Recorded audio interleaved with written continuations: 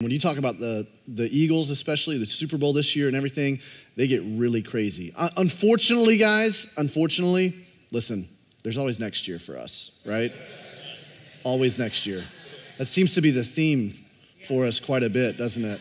It's all right. We'll still have fun watching it and watching the commercials tonight and everything. Man, so good to be with you guys today. So good to be able to hang out with you during this Family Matters series. I know you guys had a good friend of mine, uh, Pastor Lamoris Crawford, here last week. Wasn't he awesome? Wasn't that so good? so, uh, man, I, I never like to follow up Lamoris because, my goodness, he's, a, he's unbelievable. He's a good friend of ours, too, in the ministry that we do. If I haven't got a chance to meet you, my name is Davey.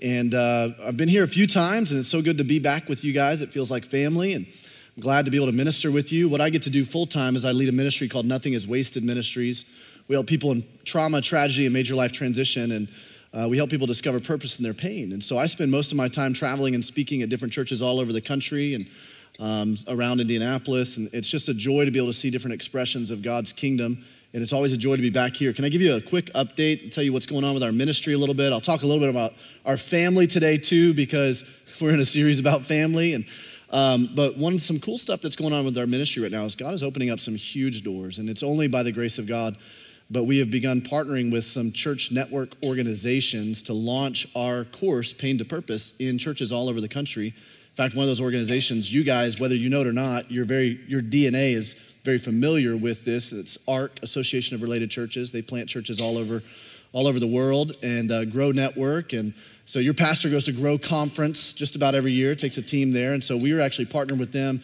It looks like we're going to be stepping into um, about a a thousand plus churches over the next year or two. So praise God. But I'll say this um, you know, growth can be just as much a curse as it, as it is a blessing. And so I, I just ask for your prayers that we would steward that well. Uh, we don't want to get out ahead of God, we don't want to lag behind what God is doing. And so we're in a critical stage in our ministry right now where we're trying to figure out how to make sure our infrastructure is solid to be able to serve these churches in this way. And so uh, just a little update so you guys can keep us, our family, our ministry in your prayers. And I'll keep updating you as I continue to come back here. I'll be back in November, so it'll be a lot of fun to be able to spend some time with you in November as well. Um, are you guys ready to dive into today? I was asked to talk about parenting today. And I was like, Pastor Craig, please, can I talk about something else, right? And he was like, Well, you know, when we went out to, to lunch with you guys last time, your kids were so well behaved. I was like, They have you fooled too, then, huh? Isn't it always true, right? Like your kids are the most well behaved for other people. You you pick them up from school, you pick you have parent teacher conference. We just had ours, and they're like, "Your kids are amazing." I'm like, "Where? What kids are you talking about? Did we switch?" them up or something. And so he's like, I'd love for you to talk about parenting. And so I want you to understand in here today, like the verdict's still out on us, okay? We're like, when my kids are 30, they're out of the house. Praise God for the empty nest season, right? My kids are going to be out of my house when they are 30. We're not talking about kids living in my basement, right? I mean, I love them right now, but I'm, try, I'm trying to grow my kids up, okay? Get them out of the house, make them contributing members of society. When they are, and if they're still loving Jesus and they're still serving people and they are actually contributing members of society, then you can come to me and you can ask for advice, all right? We'll talk about it then. Uh, so I need you to understand like, I am certainly by no means an expert at this concept of parenting. By no means. I might get passionate today and excited about some of the things I'm talking about because I'm in the thick of it. Nine, eight, and three, those are the ages of our kids, and they're all firstborns.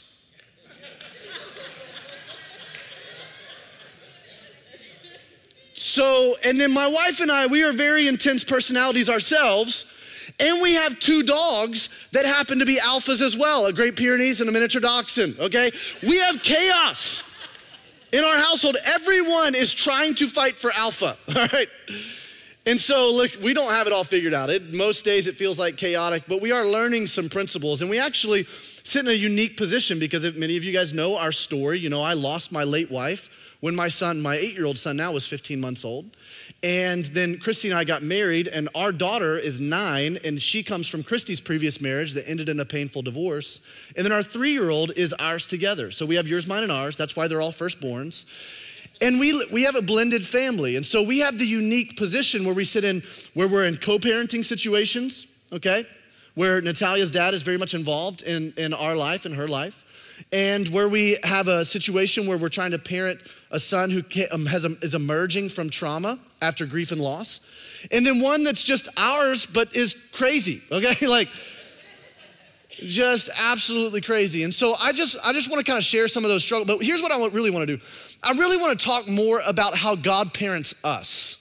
Because I believe that we can look in scripture and we can see some ancient principles that will help us to understand how God parents us. So if you're not a parent in here, okay, or if you're kind of out of that season and maybe you're not like in the in the midst of it right now, I'm hoping that this will still be really valuable to you because you'll begin to see God as a father in a different way and how God grows us up and how God parents us.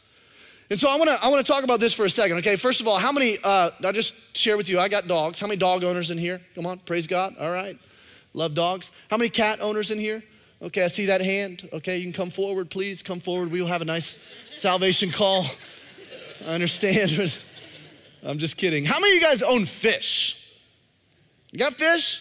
Okay, not a whole lot of you, all right? It's not a bad thing if you own fish. I just don't own fish, okay? I'm not really a cat lover, although I'm seeing the benefits of cats because we've got mice around our house right now. We live near Traders Point Creamery and we got a lot of field mice that come in. I'm like, maybe we should get a cat. That's what, I never thought I'd say that. But we've got two dogs and, you know, and so, but I've never owned fish. And I think partially it's because I've never been able to keep fish alive. Just being honest with you, okay? Now, I attribute that to the fact that when I was young, I named my first fish Adam and Eve, and I think the curse of sin just kind of entered in and fractured everything. And now it's just this ever increasing unraveling in fish ownership for me. But I'll go to the state fair and I'll win something for my kids, and I can't keep the fish alive for like any more than a week. I don't know what it is. I have no idea what it is, okay? Adam and Eve originally, they tasted the, the, the, the wrong food or something. I, like, and now it's gone, just hopeless. But what I know about fish is this I know that fish have to survive in a certain climate, a certain environment, don't they? You're never gonna see a fish, I'm sorry, for those of you guys who love Disney, I know that your pastor and his wife love Disney, but Ariel is not real. Okay, I wanna be where the people are. You know, like that's not, no fish is gonna be like, Can, you know what? I, I would just love if I could, you know, I feel so constricted and confined in this liquid. I just, I'd like to be out of it because if you take a fish out of the environment it was created to be in, it's floundering. Okay, no pun intended. It's just flopping around. It is not going to survive, right? I need you to understand this. God has created us in a particular and certain way. And when God created us, wired us a particular certain way, He also wired the universe to work in a particular way. That when we are aligned with the way the universe works, with the way God wired the universe to work, then, then we find the fullness of joy and the fullness of who God created us to be.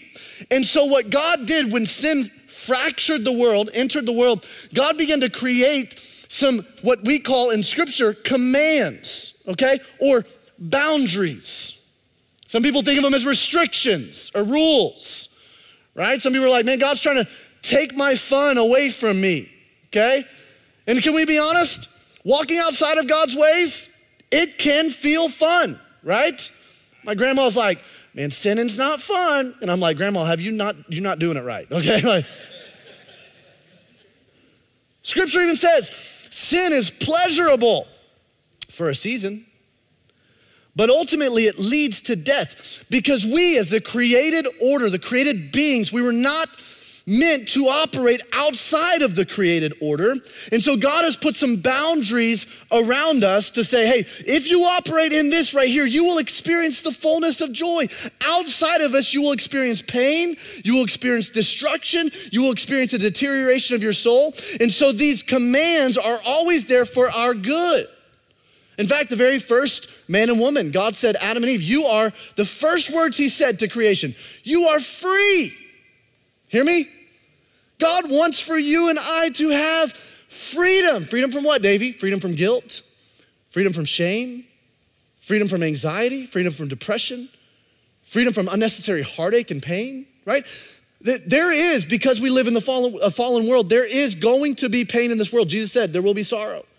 But there can't, listen, a lot of the pain we experience is avoidable pain because if we stay inside of the confines that God has created us to, war, to operate in, then we experience fulfillment, we experience joy. I need you to understand that parenting is very similar. You see, today's day and age, I've heard so many different parenting philosophies, right? We don't want to make we want to make sure our kids don't experience any kind of pain, any kind of discipline, any kind of like we just we don't want to tell our kids no. Can I tell you something?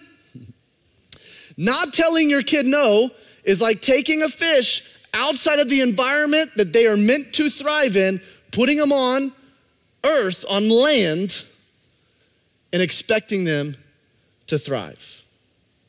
I need you to hear me say this. Just like if, if there's nothing else that you get in here. If you want to bless your kids, you can't always say yes to your kids. This is true for us in our relationship with God, too. Many of you guys are asking God for something in your life. You're asking, and God has seemingly disappointed you because He hasn't given to you what you want. And there's so many layers to this, right? James, the brother of Jesus, actually said, Well, God, God you know, you don't have because you don't ask. So, but if you're asking, sometimes you don't have because you're asking with wrong motives to spend what you want on your own desires. By the way, can you imagine being the brother of Jesus, right? The pressure that you feel in that family? Let's go. And you bring your report card home, and your mom's like, I mean, can you, why can't you just be more like your brother, James? Come on. Oh, thanks, mom. We're all trying to be like Jesus. Okay, right? You know? And he says, listen, you, you, you don't have because you don't ask, but when you ask, you ask for wrong motives. And some of you are disappointed and disenfranchised by God because you're going, God, you didn't show up for me the way that I thought you would show up for me. You didn't give me what I thought that you were supposed to give me. And listen to me, I'm telling you, if God had given that to you, it wouldn't be a blessing in your life, it'd be a curse. Because he knows. He knows what your life can hold. He knows what your life can handle. He knows what will happen to you in your being, in your soul, if He gives you that, because it will lead to destruction, not to blessing. And, and listen to me, our kids, if you're a parent here, you've got to understand if you say yes to your kids for everything, you constantly say yes, it's not going to be a blessing. No, sometimes is the greatest gift that you can give your kids. And so, what we have to do as parents is we have to figure out how do we create and cultivate an environment where they can come to know and love the Lord and follow after Jesus. Isn't that the goal, right? To grow them up in the fear and the admonition of the Lord. Now, I hate to break it to you, you cannot control your child's experience with God. You can't control it. I wish you could. I really do. One of our kids right now, we are just, they're at a very critical age, and we're seeing a lot of behavior that's going on right now, and we're going, okay, this could be really bad if God doesn't get a hold of their heart. And so we spend more time on our knees now praying, begging God, God, would you just get a hold? Would you just get a hold of their heart? Would you just get a hold of their heart? Would you just regenerate the heart? But I need you to understand it. We've got to start with this assumption before we can move on. We've got to uh, start with this understanding, and that is that, that kids by default are apart from God. They are separated from God. They are sinful from birth. Hear me? So are you. David said in Psalm 51, he said, Surely I was sinful, even from birth. You don't believe me? Because most people, I mean, they're like, I don't know, my kid was an angel, right? You think your kid's just so beautiful coming out. No, no, your kid looked like E.T. mated with a cone head coming out, okay? and on top of that, your kid did not come out trying to figure out how to convenience mom and dad. Like, God, oh, mom, how can I make your life easy today, right? That's not what happened. Came out crying naked with an attitude. They're sinners, separated from God, going to hell, right? We got to pray for them, okay? And some, listen, some of you are offended that I just said that. But you know, and you've got to understand, you've got to start with that presupposition. You have to understand that our kids are, by default, by nature, separated from God. And what they need most, more than anything else, more than parenting tricks, parenting hacks, more than anything else, is they need a saving relationship with an almighty God. They need to understand who they are in Christ. They need their heart regenerated. They need their heart to come alive and awaken to the idea that God loves them so much that he gave his only son, Jesus, to die on the cross for them, to become the propitiation of sin for them, and raise from the dead. And that now they don't have to live under the curse of sin. They can be victorious in the midst of all that they are walking through. And can we be honest, man, what they are walking through these days? Oh my gosh. what our kids are being exposed to, what they're privy to these days, the struggles and challenges that kids and teenagers have these days far supersede the challenges that I even had as a teenager. I'm almost 40 years old. So it's been, I mean, I may not look it, but I, it's been, you know, 25 plus years that I've been a kid or a teenager. And the world has drastically changed. And so, this thing right here, God's word, is the only thing that will be pervasive through all the changes of culture. We can't be tossed to and fro with the changes of culture and go, well, okay, maybe uh, how do we how do we parent here? How do we? No, we've got to go back to the ancient text that is transcendent beyond all changes of culture, God's word, and go, okay, how are we to parent our kids, and how does God parent us? That's what we want to talk about today. So, how does God parent us? Okay, well. The first way that God parents us is in unity. In unity. I want to talk about a guy named Jacob a little bit today. We'll do a little flyover, some kind of pull some sections out of his life because Jacob, he had a lot of parenting struggles. Okay? Did you know that the Bible is full of people who aren't perfect? Come on, praise God. Our Bible heroes are not perfect people that we put up on a pedestal and go, oh, I want to just emulate them. You don't want to emulate them. The Bible is not a book full of people that are heroes that we want to emulate. The Bible is full of stories of people who are broken, fallen, make mistakes, sinful, but God shows up and redeems their story. Come on. And so, Jacob in Genesis chapter 37, it says in 17, verse 17, so Joseph, who was Jacob's favorite son, right? Jacob had, had a favorite. Don't, don't admit this. You probably have a favorite. I'm just saying, I know I've some are easier than others on some days, right? Joseph went after his brothers and found them near Dothan. Now, there were several brothers, okay? He had, he had 11 brothers at this moment right here, but, but they saw him in the distance, and before he reached them, they plotted to kill him. Okay, you think your family's dysfunctional. You might be, but more than likely, you're not dealing with this kind of dysfunction right here, okay? There are so many complexities within the family, within Jacob's family. And at one point, all of the brothers wanted to kill Joseph because Joseph was the favorite. And one of the things that we can begin to learn as we peer into Jacob's life is we can begin to learn okay, what are the mistakes that Jacob made? All right? By the way, throughout all the mistakes that Jacob made, his kids became the namesake for all of the tribes of Israel, okay? God chose to use this messed up family, praise God, this messed up family to be the hope for the world. Bless them to be a blessing. So if you are in here, you're like, man, I just feel like our family is just so dysfunctional, it's just too far gone. Listen to me. You, you can be restored. God's got a plan for your life and for your family okay? But we first have to understand God's gonna parent us in unity. In unity. You ever felt like you were uh, not aligned as a family, not in unity as a family?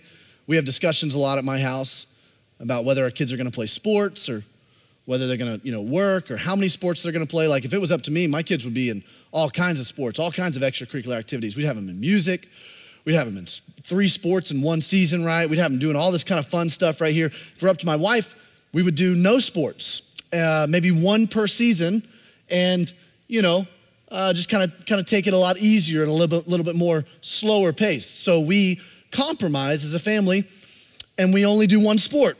um, you there? You've been there before. You know, we're trying to find alignment. When we don't find alignment as a family, things can go awry. I'll never forget with my late wife, we were taking a trip to go visit some friends, and we had packed up all of these this suitcase to go visit them over a weekend. We were actually going to uh, invite people to come with us, to move with us to Indianapolis to plant the church that we planned, we were planting at the time. So we went to go visit some friends in Virginia. We were living in South Carolina at the time. We pack we pack up all of our luggage and stuff. We get in the car and we drive. We get to Virginia. It was about six hours away, and and, and I go to the back to the you know, the trunk to try to get our luggage out, and the luggage isn't in there. My late wife's name was Amanda. I said, Amanda, I thought you put the luggage in the, she goes, I thought you put the luggage in there. I'm like, wait a minute. She's like, that's your job. I'm like, no, that was your, because I was doing this thing and I thought that you and, and we made all of these assumptions and we were not on the same page. When you're not on the same page, you're gonna show up on your trip without your luggage, okay? Things can go majorly awry, and I need you to understand that God parents us in unity, and you and I have to parent in unity as well. You know that your kids know how to angle and get in between you and your spouse. You know that? My kids are already doing it. Coming to me going, hey, hey, can I do this? Can I have this? And I'm like, well, that doesn't sound like something. I'm like, did you check with your mom first? Well, no, but you know, and I'm like, oh, you came to me because you knew that I was the lenient one, and then I would probably say yes when mom would say no, right? And so we like, we caught him, you know. I knew how to do that as a kid. I knew exactly how to make sure that I get in there. But if you and I are parenting in unity, if we are coming together, we are making decisions, come on, before, look, before the moment hits, right? When we're in our right mind, not when we're in the moment, principle, Make decisions when you're in your right mind, not when you're in the moment. This doesn't just apply to parenting, it applies to everything else. Put principles in your life when you're in your right mind, not in the moment. And when you come together and you create and make these decisions together preemptively, then it becomes this, this force, this force that on the front where you're going, hey, you can't separate us. You can't separate us. Can I tell you something? Listen to me. The most important relationship, aside from each of you having a relationship with Jesus in a married couple, the most important relationship before your kids is you two together. And I, that doesn't, listen, that's not just for first marriages, that's for blended families as well. It's one of the most difficult things that we talk when I do like widowers retreats and we talk to blended families and Christy helps to disciple women who have experienced divorce. We say, hey, listen, I know that for a season you've kind of operated in survival where you've had to put the kids first, but if you are saying I do again, you are now making a declaration, just like you made a declaration at the beginning, that you trust each other. You're joining together as, one in unity. Come on, in unity together, and you are now the primary relationship of the family. If this isn't the primary relationship, everything else goes awry. You hear me? Everything else goes awry. Our kids need to see spouses as a force of unity together. They don't need to see us divided. Did you know the enemy wants to do everything he can to divide us? That is his ploy. Anything he sees where the movement of God is happening, he's gonna get in and try to weasel his way in and divide. He's gonna do it for the body of Christ. Hello. If he starts to see a, a, body of believers begin to stir and there be revival, right? The first thing he's gonna do is he's gonna go inside to the people within, not the people outside. He's not gonna try to just attack from the outside, right? Because you guys are unified. You're like, man, God's moving. I don't care what people say on the outside. God's moving in here. But if he starts creeping in and starting to create narratives inside of each one of you guys where you begin to have this discord and this dissonance, where you begin to go, well, this person said this to me and I, and you start to ascribe motives, I think that they meant this, and how dare they? And all of a sudden, there becomes this gossipy, slanderous, this like conniving thing that happens on the inside that begins to divide you. If the enemy can divide from the inside, he can stop and squelch what God wants to do. He does with this, this with organizations, he does it with families. He does not want the world to see thriving, unified families. He doesn't want the world to see a married couple thriving. Because when the world sees a married couple thriving, they go, man, there's something so contagious and desirable about that. We're two people who are complete opposites, praise God.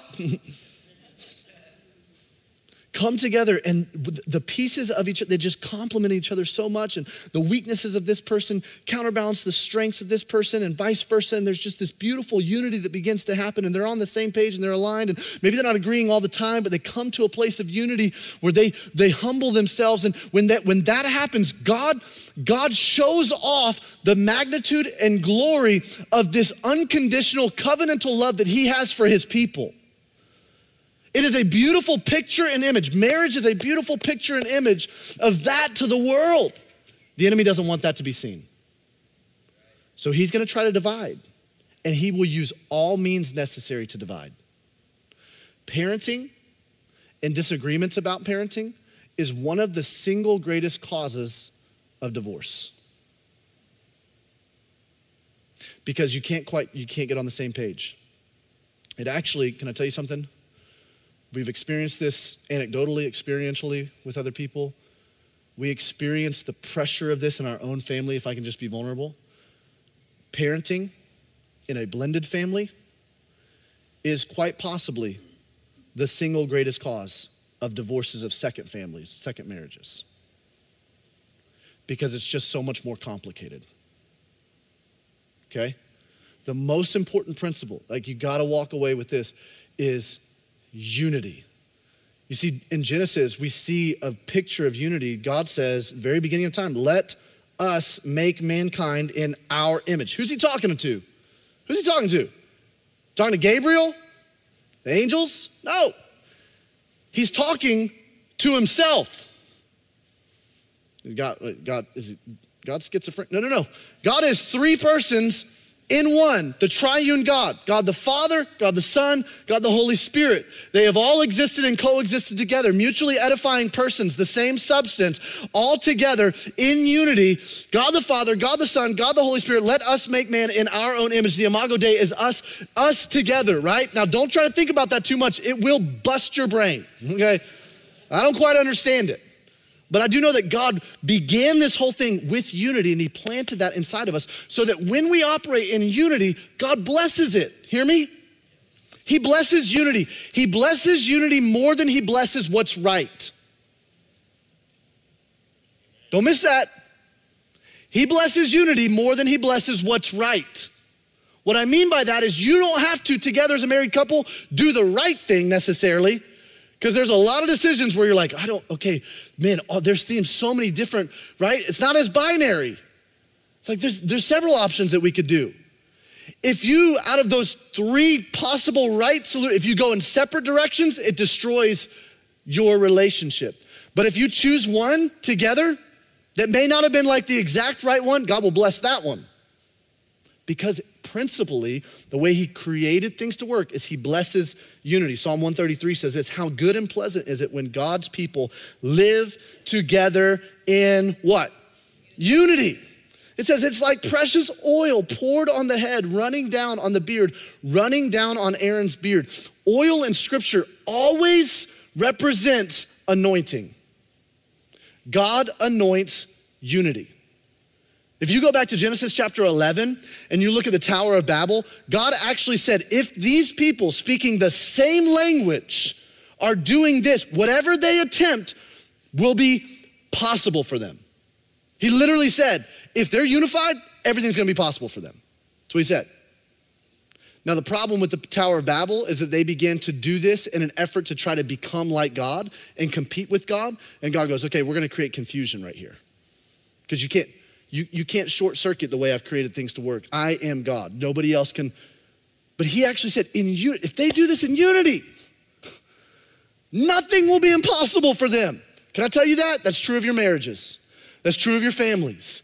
When you are together in unity, that's true of your communities. That's true of your small group. That's true of your church. That's true of whatever, whatever you're involved in, in unity, your business, your, your workplace, in unity. Like nothing will be impossible if you're together in unity. Now, does this mean you always agree? No.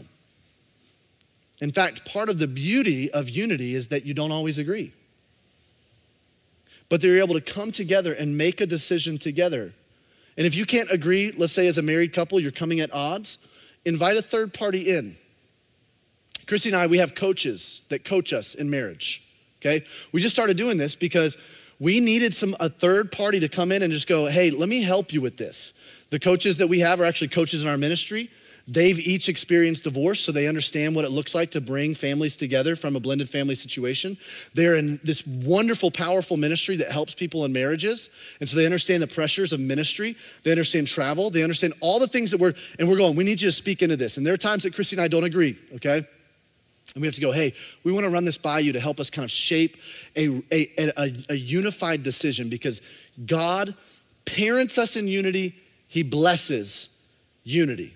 Let me give you a, a, kind of a quick hack, real quick, before we move on to the next point.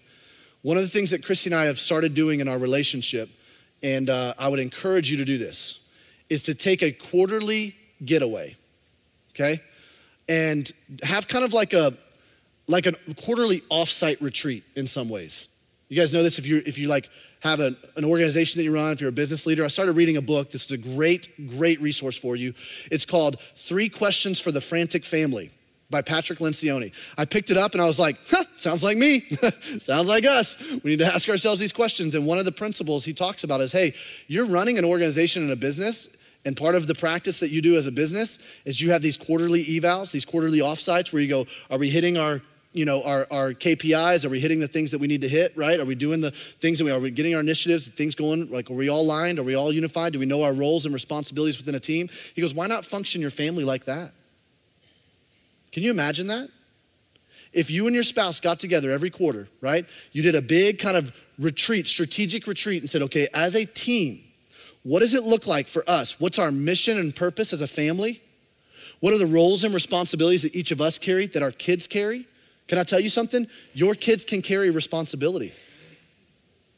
Your kids can carry responsibility. You know that? They do not need to be like alleviated from all the pressure. One of the things I love about what, what Christy has done, especially with our kids, she's really good with this, um, is that our kids, before they can leave the room every single morning, there's an alarm that goes off, and it like turns green, and that says, okay, it's time to wake up. On the weekends, it's like eight o'clock, okay, so we can sleep in, praise God. um, on the weekdays, it's six o'clock so they can get up for school. It turns green when it's six o'clock, all right?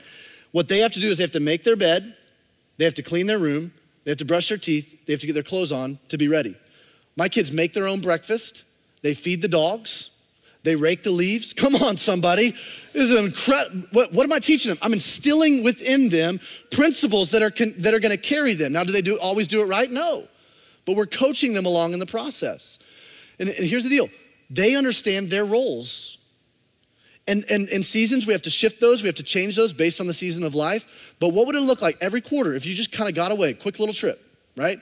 Quick little trip, get away, have some fun with your spouse, and, and, and ideate, plan this. What does it look like for us to be on the same page? Now you're stepping back into the battlefield in the quarter and going, okay, we know we're aligned. We've already made these decisions preemptively. We are starting this March, we're going away, Christy and I are, and we're starting for each one of our kids, we're putting together a plan for each one of our kids. A vision for them, the key character trait that, that we feel like they need to be, that needs to be fostered in them over this next quarter based on what we're observing, okay? If you had some, this kind of unity and intentionality with your family, what would it do? What would it do? I'll report back to you in November how, it, how it, it's working, okay? uh, the second thing uh, y'all gotta listen faster, is uh, God parents us for relationship. For relationship. Okay? For relationship. Genesis 37, 3 through 4 says, Now Israel loved Joseph more than any of his other sons because he had been born to him in his old age. So it, tell, it says that he was favorite. And he made an ornate robe for him. When his brothers saw that their father loved him more than any of them, they hated him and could not speak a kind word to them. I need you to picture this. There's multiple brothers that, that Jacob kind of disregarded. Now, the backstory on this is that Jacob, he wanted to marry Rachel. Do you know this story? Wanted to marry Rachel, went to Laban, Rachel's dad, and said, Hey, I, I would love to have your daughter's hand in marriage. And he goes, Absolutely, work for me for seven years to earn the basically the dowry to have my daughter's hand in marriage. Okay, come on. Talking about Valentine's Day, let's go. This is romantic. Come on, somebody. You know, amen. It's like, I will work for you for as long as you need to, baby girl. I'm gonna just get into work because they're just prized and cherished. And so he does. He works for seven years. And then they have the marriage celebration. In this day, in this culture, the bride would be veiled, okay, would be veiled. So you wouldn't see the bride even during the consummation of the marriage, okay? So they would have this marriage celebration, and then the bride and the groom, they would go and consummate the marriage. Uh, next week, Pastor Craig would be happy to explain to you what that means if you don't understand what I'm talking about. I heard he's got a flannel graph and everything. He'll show, okay? so they go, they consummate the marriage. The next morning, Jacob wakes up, and it's not Rachel, it's her sister Leah. Okay? So then he calls Jerry Springer up and he's like. You see the dysfunction that's going on with his family? He goes to Laban, he goes, You tricked me. What's going on? And Laban's like, Well, it's not our custom to give the younger daughter before the older. Work for me for another seven years, and I'll also give you Rachel. And Jacob does. Husbands, you pursuing your wife like that? I'm like, I don't know if I want to be a part of this family. You know what I mean? Like, this is messed up, right? But he does. So now you have Rachel and Leah. Well, Jacob loved Rachel, but he, just, he kind of despised Leah, and so he despised all of Leah's kids. And, and, and so with Leah's kids, he was ne- negligent, but with Rachel's kids, Joseph and Benjamin, they were his favorite. Listen, the ones that the ones that were he showed favoritism toward, that he pursued relationship with, they ultimately they ultimately had this connection that was really strong. They had a strong relationship with him. The ones that he didn't, that he neglected, they rebelled. You hear me? Because of this. Rules without relationship leads to rebellion. Hear me? We put that up there on the screen. Rules without relationship leads to rebellion. You, you and I can't press in. We can't press in and press in and press in and just create rules and, constri- and restrictions and boundaries and stuff, although we do need to say no. But if we're just pressing in with rules and we don't have relationship, then it's gonna drive our kids to rebellion. You see, it says that scripture says it's God's loving kindness that leads us to repentance.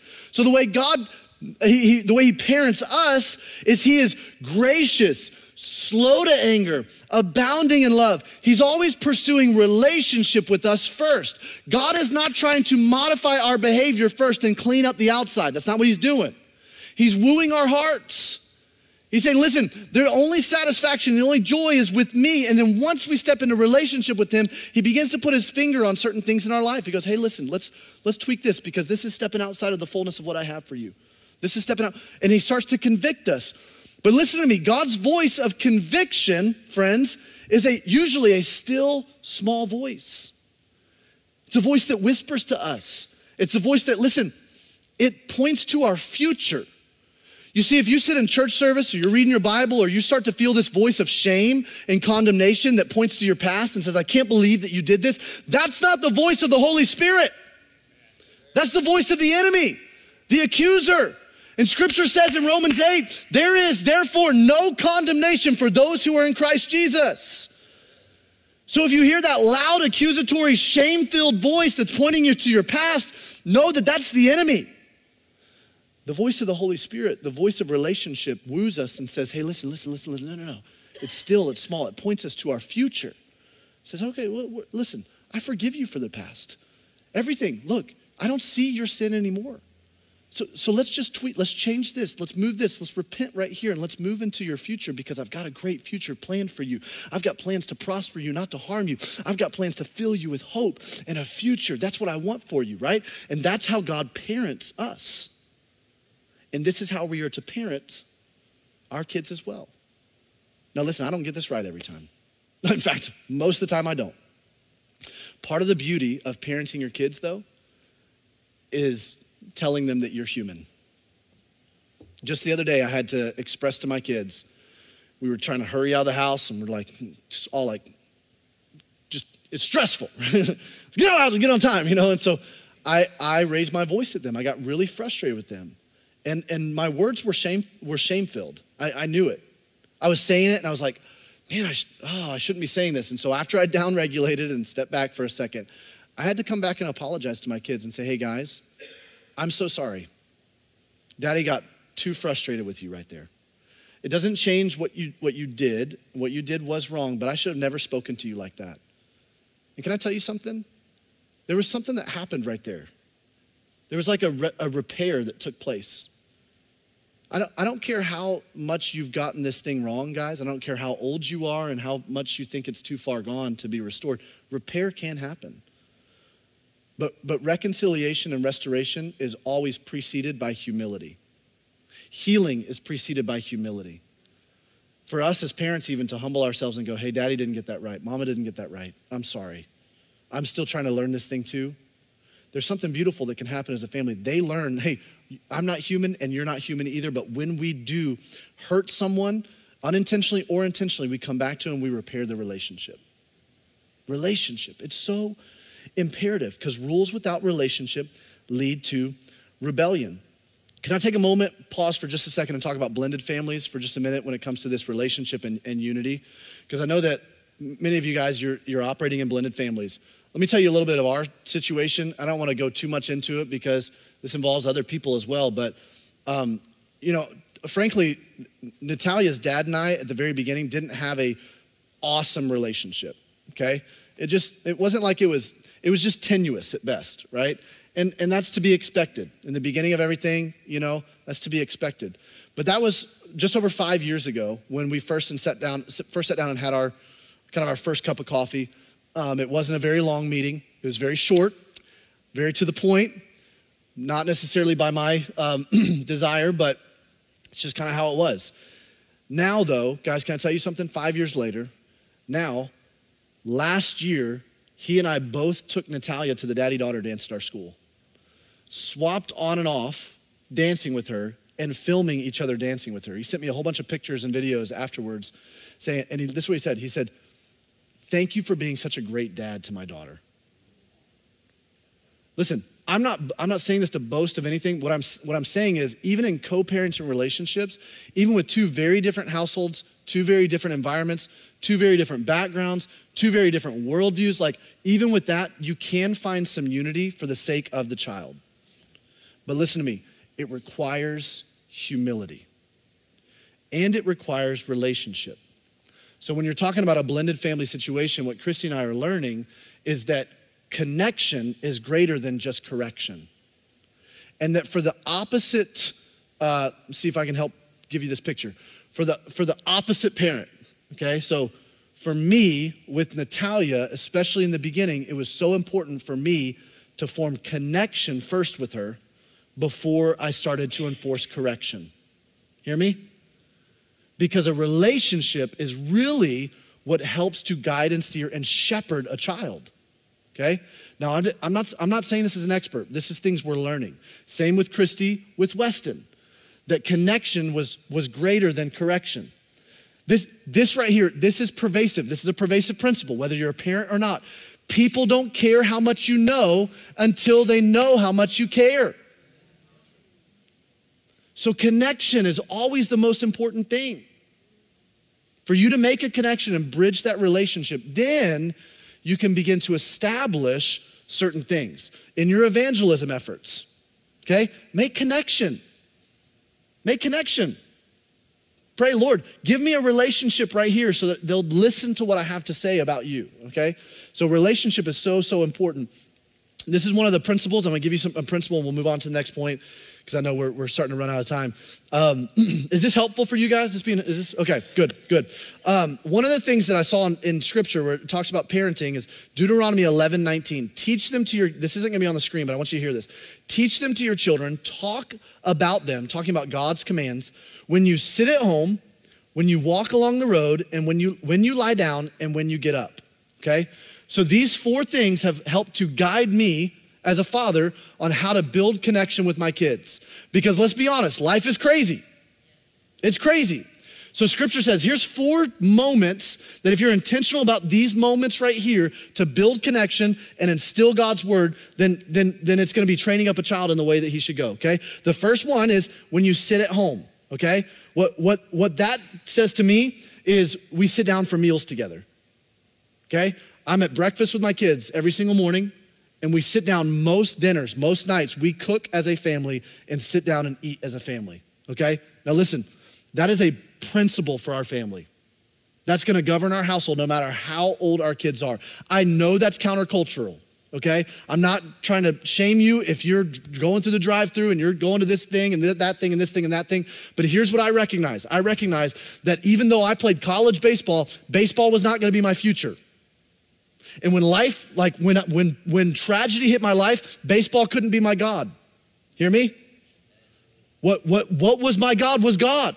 And my dad and my mom were so diligent and vigilant about making sure that together, no matter what kind of sports or extracurricular activities started to come into and creep into our life, that they were not gonna govern our life. That our life was gonna be governed by God. And it was gonna look a little bit countercultural.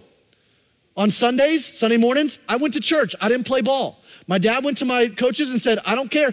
Davey may be your starting shortstop. He's not going to play ball on Sunday mornings. He'll join up with you Sunday afternoon, but we go to church as a family. As for me and my house, we will serve the Lord. And they looked at my dad and they said, You're ruining your kid's future. You're ruining your kid's future. I played full ride scholarship in college. Okay? I believe God blesses. When you put Him first, God blesses. Okay? So, so it's important, all right, that we sit down as a family together. When you walk along the road, so when I'm taking them to school, I spoke at Indiana Wesleyan two weeks ago, and I was driving, I intentionally, they gave me a place to stay in Marion because I was speaking morning and night, late nights. I said, no, no, no, no, no. I'm gonna drive home so I can take my kids to school on the way to drive back up and preach at chapel again. Because I wanna be with my kids at school. I wanna drive, I wanna, wanna connect with them right there, okay? So when I'm taking them to, I pick them up almost every single day from school, okay? When you lie down, bedtime, oh my gosh, kids are, kids are like, they're like drunk people at parties at bedtime. You know what I mean? They will tell you everything. Part of it's they're trying to delay bedtime. The other part's like they're just telling you everything. You know, so it's a wonderful time, okay? And then when you get up, we do uh, devotions every single morning, okay? I model that for them, and then I have them sit down and do their devotions for 10 minutes every single morning before we go to school, okay? This is a really good principle I think that you can instill inside of your inside of your home. The last thing is this discipline. God, God parents us with discipline, okay? Now I'm gonna kind of have to skip ahead with some of this stuff because I know we're running out of time. But here, here's the thing I said rules without relationship lead to rebellion, but you gotta understand that relationship without rules leads to ruin, okay? You do have to have the tension of both of them. And discipline can be an off putting word. Scripture says that no discipline is pleasant at the time right? No discipline is pleasant at the time. Uh, in fact, it says this in Hebrews. Why don't you go to that Hebrews chapter 12 passage? I want to just read this for you right here. It says, My son, do not make light of the Lord's discipline, and do not lose heart when he rebukes you, because the Lord disciplines, look, the one he loves. So I, you, you got to hear me. Every, like every day, God is disciplining you. You hear me? Now, the reason that we put in spiritual disciplines in our life is because discipline is one of those things where I can discipline myself or I will be disciplined. And sometimes I discipline myself and I am disciplined. Hear me? This is part of God's grace and mercy in our life. Listen, that addiction that you have, you think everybody, it's hidden from everybody? It is God's mercy that that thing gets exposed because of the road it's taking you down. Come on. Somebody needed to hear that today. And it's way better for you to come and confess that. Husband, you got a, you got a pornography addiction? Come and confess that to your wife. Because I promise you, God's mercy is that He loves you as His kid so much that He is not going to, He does not want you to go down that road. He doesn't want you going down that road. It will destroy you. It will destroy your family. You think you got it at bay. You think you got it kind of harnessed and it's just kind of there as a pet to keep along. And I'm telling you, this pet is go- going to become a boa constrictor that will devour you. So God's mercy will be that it, it gets exposed. He disciplines you in that because you're his kid. If, he, if he's not disciplining you, that means that you're not his child. Hear me? So his discipline, but his discipline is good, it's fair, it's gracious. And it says, endure hardship as discipline. God is treating you as his children. For what children are not disciplined by their father? They disciplined us for a little while, our fathers did, as they thought best, but God disciplines us for our good, in order that we may share in his holiness. He's making us to become more like the person of Jesus. No discipline seems pleasant at the time, but painful.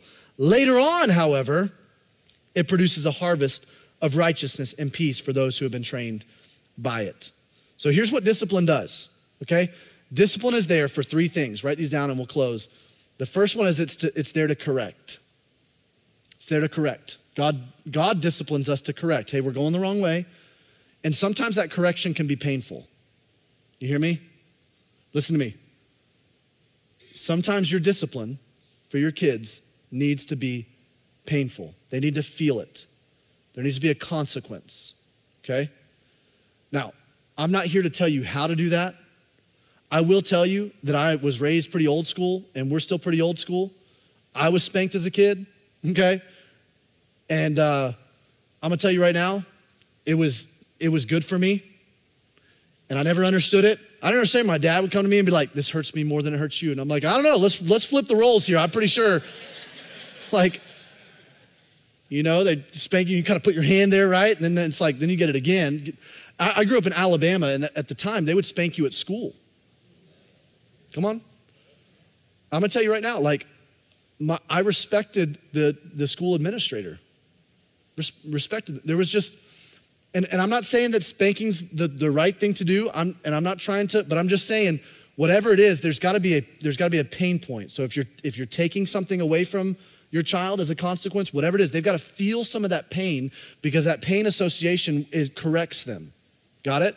So God corrects us. Um, it also coaches us, coaches us. His, his, his discipline coaches us. Coaching your kids is just as important as correcting your kids. Because when my dad would spank me, we practice this with our kids. He would always, once, once it's kind of the consequences over, he'd bring me up on his knee and he would share with me the gospel. He would share with me that my sin actually deserved death, but Jesus took the punishment of that on my behalf. And that Jesus died for my sin so I could have right relationship with God. And now all we need to do, all I need to do when I when I sin because of my heart has been regenerate, regenerated by the, by the power of God, what He made available to me by Jesus dying on the cross for me and the resurrection of the, uh, of, from the dead. Now, all I need to do, I need to confess that sin to God to be forgiven from that, and then confess it to others to be healed so I don't have to walk, continue to walk in that. He shared that with me, and that was instilled in me. And I didn't get it when I was six, seven, eight years old. I didn't understand it, but I understand it now. And now, every time I'll share this with our kids, we're sharing the gospel because we're coaching them we're trying to raise them up, okay? And we're going from, listen, principle, control in their life to influence in their life. There's a spectrum. When they're young, you pretty much control everything in their life. But as they get older and as they begin to show trust or demonstrate that you can trust them, then you, then, then you move more toward influence in your life. Some of you guys are in the stage where you're just influencing your kids. Some of you are frustrated because you're in the influence stage of your life. You're still trying to control your kids. Hear me? It's causing a lot of frustration and strain. Some of you are frustrated because you're in the control stage. You need to be in the control stage, and you're just trying to influence your kids, right? Well, they just do whatever they want to do. You go from control to influence because we're growing our kids up from, in, from dependence on us to independence from us, okay? The last thing coaching is comfort. I'm going to invite the keys to come out. Comfort. Discipline is a part of comfort. In fact, our kids crave discipline. You know that? They crave it.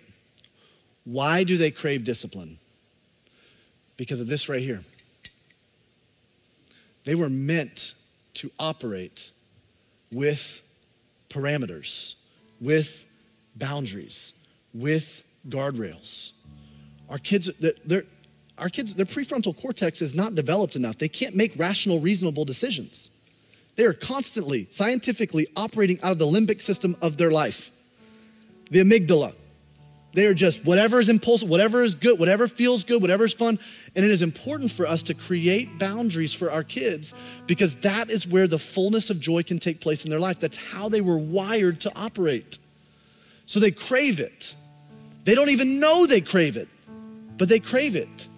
It's unbelievable. Our three year old, we've, as we discipline him, he is so hard headed. He is so, like, if you speak Enneagram, he is an Enneagram eight and a half, okay? Like, this kid just is like, no, it's mine, right? He is like a little Tasmanian devil, and he is controlling literally every step of the process with us, right? He's like, you, you want water. I'm like, I don't want water right now. No, you want water. I'm like, buddy, I don't, I'm good. Okay, all right, you, you give me some water. Okay, I'm just right here. I'm to get water. No, no, no, you want it from that glass. I'm like, okay, I'll get it from that glass, right? He literally controls every, he is just crazy. So we have to put boundaries around him, and he he gets consequences a lot. Okay?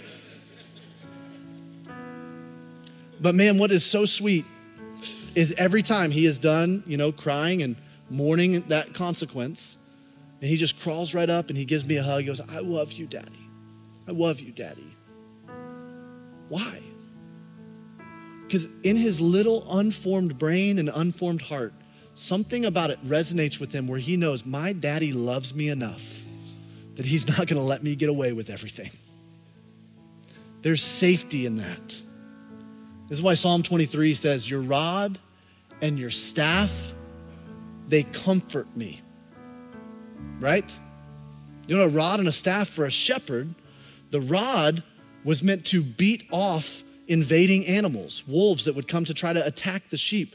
The staff is a hooked staff that is meant to pull a sheep back. Do you think that was comfortable for a sheep? To get hooked around its neck and pulled back? No. But the sheep know the shepherd's name. The shepherd calls the sheep by name. And the sheep don't go anywhere without their shepherd because there's safety and comfort in this. And I'm telling you, guys, listen, I'm telling you, there is safety and comfort in the discipline of God. I can't, I can't fully explain it, but just to know, like, God, I can trust you with my future. I can trust you with what's going on now. I can trust you that whatever you bring into my life, the hardship, the pain, that I'm going to see it as discipline where you are moving along, moving me along the path of life that you want me to move along so that I can become more and more like the image of Jesus. There is safety and there is comfort there. And so that's how we also have to operate with our kids. So here's what I want to do. I want, I want everybody to just stand and um, we're going to close this time down together. But, I, you know, I don't know where you're at with this. Some of you are parents right now and you're just struggling. Like, you might be in a season like me where you're going, God, our, our family feels so fragile. It just feels like at any moment, like something could just fall apart. Maybe your marriage feels like that. Maybe you're in a season right now where you're just, you're hearing this and you're going, man, I never knew that about God. I didn't know whatever it is, I'm gonna, I just wanna, I wanna kind of give a couple of invitations. So I, am gonna ask bow your heads, close your eyes. And others, under the sound of my voice, I just, I just wanna know a couple of things. How many, by the raise of hands, you would say, with your head bowed, every eye closed, nobody looking around, just, you would say, hey, Davey, I, I need prayer for my family. Would you just raise your hand? My family just, it just feels like there's, you know, maybe I have a, a prodigal child, or I have a, yeah, raise, keep your hands raised. I just wanna, I want to see. I'm gonna, I'm gonna just spend a couple times right here in different situations praying. Keep your hand raised, and I just want to, Lord, I just ask right now for these folks. I just ask that you, you, your spirit would minister to them in ways that they, that they can never manufacture for themselves. That even in this moment, as we kind of take a sacred space to hear from you, God, as we take a sacred space to worship you, would you just come in, rush into their to their hearts and, and, and let them know that you see everything that's going on, that you are a God that restores, that you are a God that comforts, you are a God that is a firm foundation, you are an ever present help in time of trouble, God, that you want for their kids, for their family to experience the glory of a beautiful, prosperous future more than they want to. And I pray that whatever is hindering that, Lord, would you just show us right now if there's any repentance that we need to do in our own hearts? If there's any next step that we need to take, would you reveal that to us? Would you show us what kinds of, would you inspire us right now? Would you give us a, a Holy Spirit energy, a strength that is beyond ourselves to, to lean in and step in with grace and with humility and with truth to be able to, to do whatever we need to in our families, to set the parameters however we need to set the parameters, to make the plans however we need to make the plans. But most importantly, God, would you just move? Would you change hearts? Would you regenerate things? And would you make our family new the way that you say that you can? Would you reconcile and restore and redeem? We just, we trust you, God, to do that. With every head bowed and every eye closed, if you, if you would say, man, today I just, I got a different picture of God. And, and there's something in my relationship with God that's a little bit awry or askew. And I just want, I just want that to be settled. Would you just put your hand up in the air? Would you put your, Amen. Amen. God, I just pray right now over these folks that as they see you as the, the good and perfect Heavenly Father, no matter what their relationship with their earthly father has been, I pray that you would let them see a picture of who you are, that you are, you are a gracious, loving Father, abounding in love, merciful, that you are slow to anger, that you want relationship with them, that you cherish them, love them, desire them so much that you would send your son Jesus to die for them.